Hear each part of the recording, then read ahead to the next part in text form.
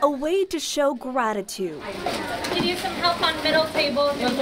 These bags are for those who aren't in this room, but in their hearts. And they have snacks and a bottle of water and a thank you note from End of Watch, just as an uplift um, at the end of the day. They'll be going to officers who will be at fallen Newman police officer Corporal Ronil Singh's funeral. For me, uh, volunteering for End of Watch um, is the way that I get to give back to a wife. Megan Meyerdick is here as a volunteer and as a wife of a police officer. Call it, I'm not sure what, but uh, I always tell him to be safe. That's our thing.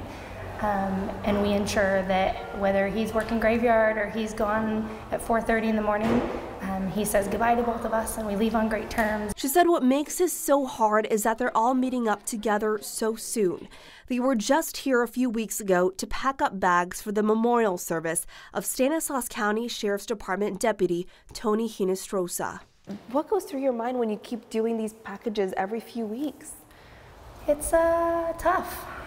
It's uh, tough to know exactly where that wife was when she sent him out the door on Christmas.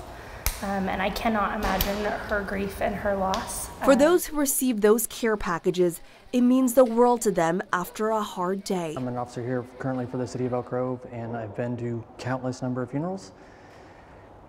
And I know it's a long day, both emotionally and physically. And coming out to your car after that day, it's nice to have a little bit of uh, pick me up. A way to say thank you after a day of saying goodbye. As a whole, we are a community that cares very much about each other and about our cities that we go out for every day. And this is just uh, our way of showing that a little more every day, even in a sad time for us. In Elk Grove, Ananda Rochita, ABC 10 News.